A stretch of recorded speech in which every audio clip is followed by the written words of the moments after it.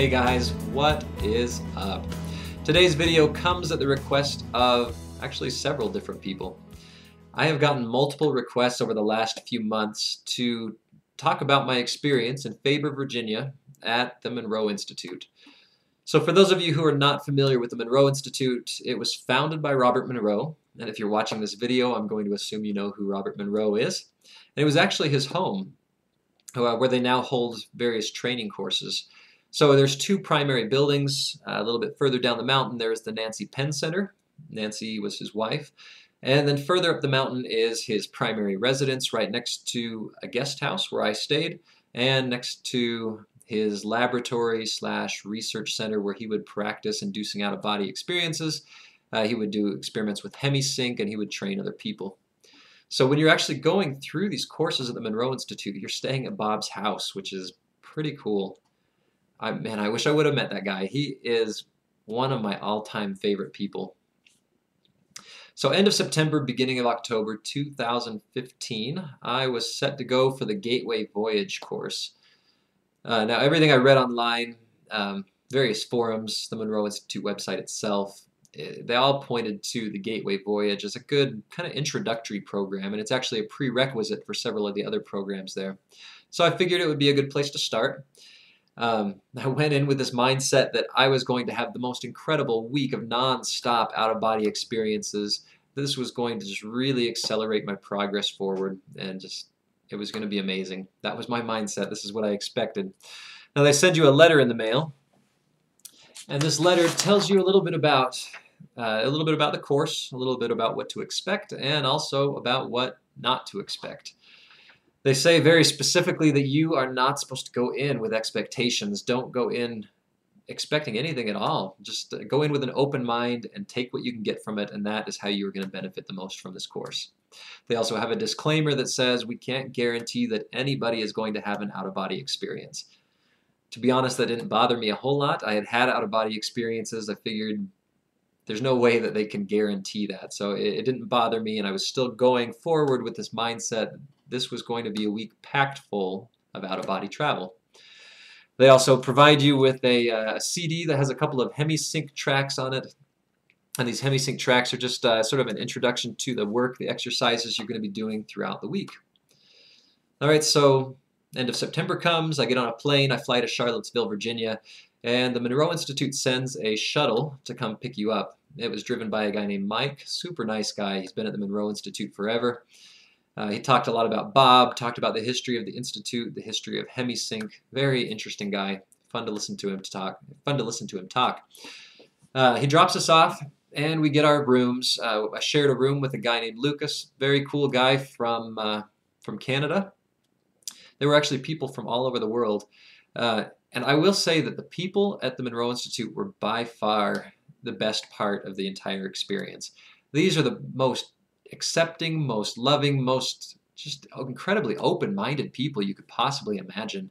I, there were about 20 other people in this course with me, and uh, they all were just excited to talk about uh, you know different levels of consciousness and to talk about lucid dreaming and out-of-body travel and and remote viewing and all of these things that normally you talk about and people just look at you like you're nuts. Uh, so it was amazing. It was that was by far my favorite part. Was all of the people I got to interact with there.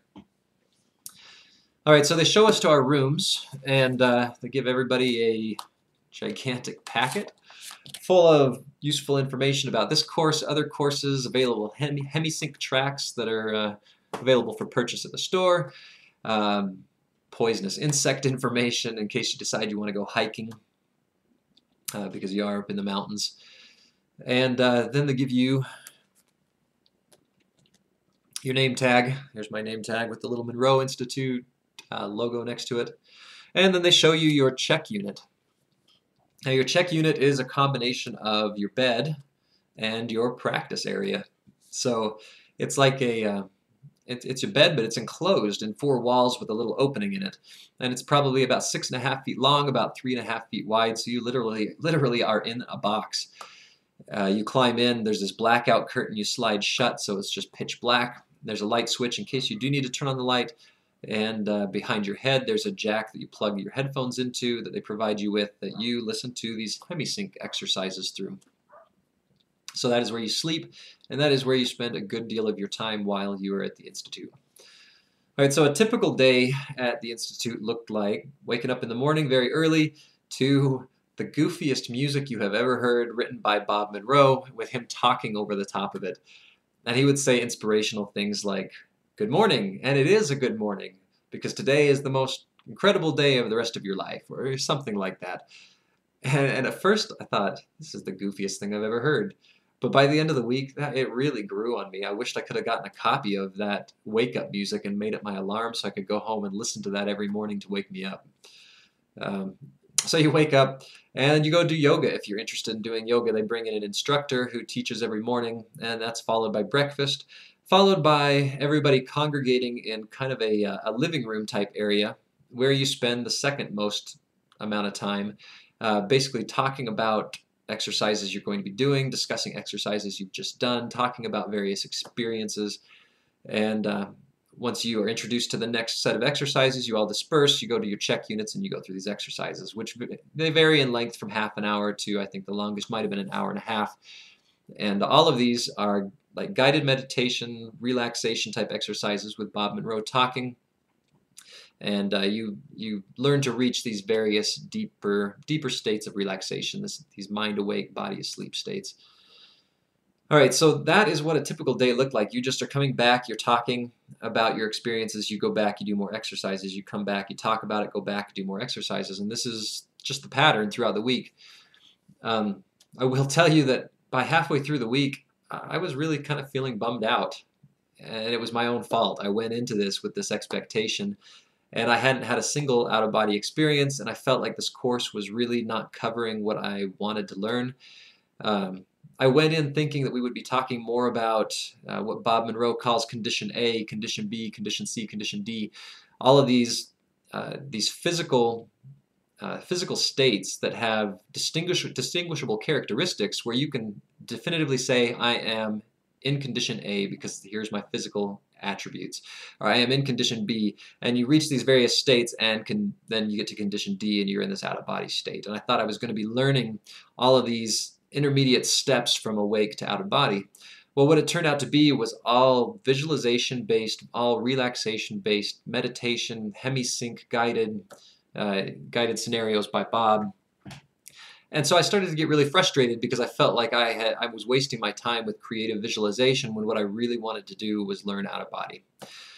So halfway through the week, like I said, I, I'm getting kind of bummed out, and I finally just said, you know, I am in a beautiful environment. I'm far away from any distractions. I'm surrounded by the most incredible people that you could possibly imagine. I have this dedicated space where I can meditate, where I can visualize, where I can try to learn something, and I'm wasting it. So at that point, I let go of all expectations and I just went with the program. And I wish I would have done that from, from day one. So I'll tell you, if you go through the Gateway program, do what they say, go in without any expectations whatsoever, and you will get far more out of it. So the second half of the week, I actually made incredible progress, and, and it was progress that helped me in my out of body uh, practice. I learned how to put my body to sleep while keeping my mind awake during the day, and that was something I had only ever achieved at night before uh, when my body was tired. And I got to the point where I could do this even if my body wasn't tired.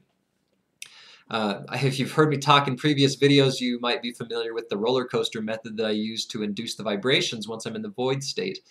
And this, this visualization is much more than just seeing myself going around in a roller coaster. It's actually feeling those vestibular sensations, feeling the uh, sensation in my stomach as I'm going around, and being able to generate that sense of movement just with my mind.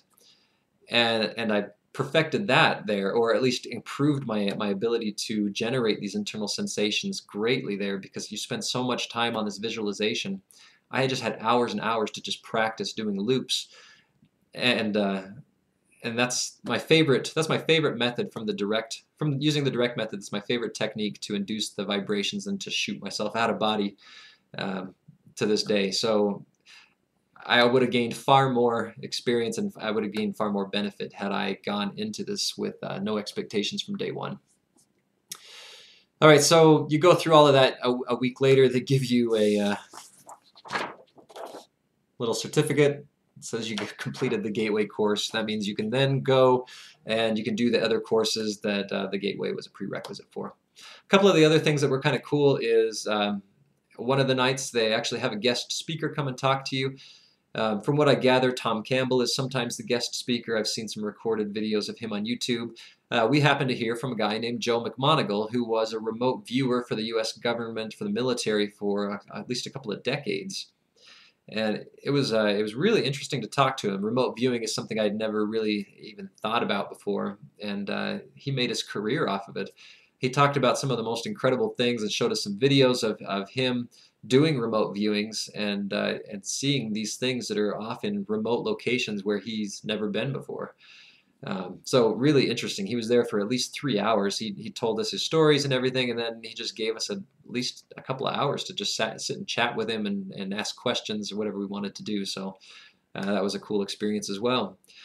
Uh, so all that being said, like I said, if you do this, go into it with no expectations, at least with this Vo Gateway Voyage program. I do plan on going back to the Monroe Institute. I'm hoping in 2017 I will make it back, and I'm planning on going through the out-of-body intensive program with William Buhlman. Uh, he's another guy I would really like to meet him before he stops teaching, and that one is all geared around out-of-body travel. So uh, I think if I go in with the expectation that I'm going to work on out of body, then at least it'll be uh, it, will be appropriate in that case. So that is it. If, uh, if I didn't cover anything that you're interested in hearing about, if there's any other questions that you have, please feel free to ask. Uh, I tried to just cover briefly in a nutshell the entire experience and uh, kind of what I learned from it. So, as always, like, comment, subscribe, help me build this community, and I will talk to you guys again soon.